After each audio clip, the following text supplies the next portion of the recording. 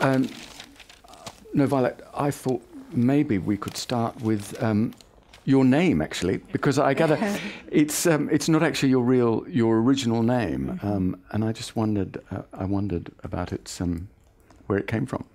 Um, yeah, sure. Uh, firstly, thank you all for for coming out this afternoon. Um, I don't think I would pay money to come and see me, but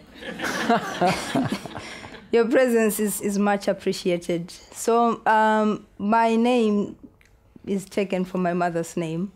Her name was Violet, and she passed away when I was 18 months. And she was never spoken about. So, I decided when I became an adult that I was going to honor her memory. And uh, that's what I did. And the NO in my language means with and Bulawayo is my hometown. I lived in the US for 13 years without being able to go home and visit. So I was very, very homesick. It was my way of connecting to, to my people and place. So I felt like even if I couldn't go, I was carrying my, my city with me. Mm-hmm. Yeah. Mm-hmm. And um, you, you're sort of, I mean, to say you're an accidental writer is is perhaps not accurate. But you didn't. You went to, to America to study law, I think, didn't you? Oh yes, um, and partly because I I was raised by, you know, the, the generation of my parents wanted us to be meaningful things in life, and that did not include writers and artists. So, you know, engineers, doctors, mm-hmm. lawyers. So I, I left to study law in the US and then I took my first creative writing class at 18. And uh, I, I just loved telling stories and it felt so special that I could write whatever I wanted. Mm-hmm. And so I, I, never looked back after that. And your dad was a, a great storyteller? He was he? a great storyteller. Um, I, I blame him for sort of changing course and, and getting into storytelling myself. But he was such an amazing inspiration, including my grandmother and the various women in my neighborhood who just told stories all, all, all the time. So, what was it about stories that, that you loved so much? Um, how they captured our humanity, how they helped us make sense of, of the world, and how they, they connected us. I think there's something to be said about gathering and telling stories and, mm. and laughing. Mm. Yeah. And we uh, we need new names is um, a novel about a group of primarily about a group of in the first half a, a group of young Zimbabwean children. Darling, it's narrated in the voice of of ten year old Darling, um, and and then it shifts uh, when Darling eventually moves to to the US and becomes becomes a slightly um, different sort of book, I think. The uh, you won the Caine Prize though for the first for the first chapter of the book, I think. Uh, what sort of effect did that have on you in terms of your writing, in terms of your confidence as a writer? Um, I, I won the Caine Prize when I was still in school, and when I submitted my story to Boston Review, I was kind of playing, you know. I, I didn't think I was a writer yet, and I just wanted to see what would happen and to get myself ready for rejection because I'd heard stories of how that was coming. So I thought I'd just warm up. Um, but when they took it, it was very, I was very, very encouraged to, to keep writing mm. and to start taking myself seriously because mm. I was like, oh, if people are reading and seeing something um, then maybe I should push harder. And and that story, um, which is in the book as a chapter, hitting Budapest, is um, narrated in the in, in the voice of ten year old Darling, who mm-hmm. is who is the, the, the main character in the book.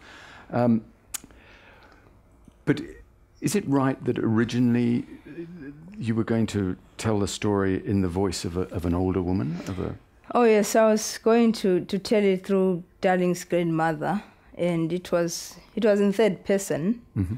And I think part of the writing process is that you you get to discover your strengths and weaknesses. So when Darling happened, um, while I was working with this other voice, I, I quickly quickly realized that it was the voice that I needed to, to render the, the novel in. How, how did she happen?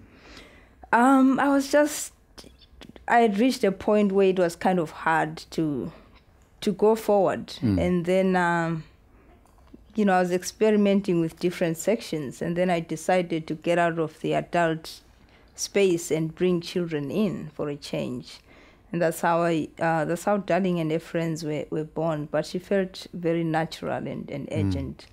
And at the time, I was also inspired by this photograph of, of a kid sitting on top of his bulldozed home. Um, you know, I was very inspired by what was happening uh, back home. I was watching a lot of um, news, following conversations, talking to people. So it, it that happy accident of that image and where I was kind of um, helped me get to, to, to, to names as you know it now. Because um, Darling and, and her friends, they've all they've all had their homes bulldozed, haven't they? And they're all living in the in the ironically named um, shanty town of Paradise. Oh, I yes. think. Um, would you- do you think it would be good to read a little bit? Um, Um, to absolutely. give, to give um, just a taste of uh, taste of her voice, which is incredibly um, alive. I think she's she's got this fan- fabulous energy and exuberance.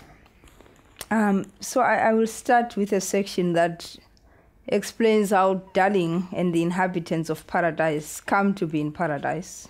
Then I'll go into, into her own voice. This section is called How They Appeared.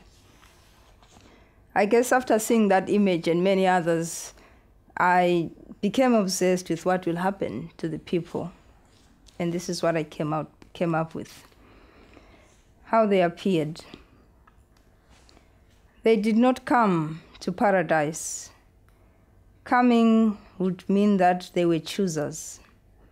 That they first looked at the sun, sat down with crossed legs, picked their teeth, and pondered the decision. That they had the time to gaze at their reflections in long mirrors, perhaps pet their hair, tighten their belts, check the watches on their wrists before looking at the red road and finally announcing, Now we are ready for this. They did not come. No, they just appeared. They appeared one by one, two by two, three by three. They appeared singly file like ants, in swarms like flies, in angry waves like a wretched sea. They appeared in the early morning, in the afternoon, in the dead of night. They appeared with the dust from their crushed houses clinging to their hair and skin and clothes, making them appear like things from another life. Swollen ankles and blisters under their feet, they appeared fatigued by the long walk. They appeared carrying sticks with which they marked the ground for where a shack would begin and end. And these they carefully passed around, partitioning the new lands with hands shaking like they were killing something. Squatting to mark the ground like that, they appeared broken, shards of glass people. They appeared with tin, with cardboard, with plastic, with nails, and other things with which to build. And they tried to appear calm as they put up their shacks,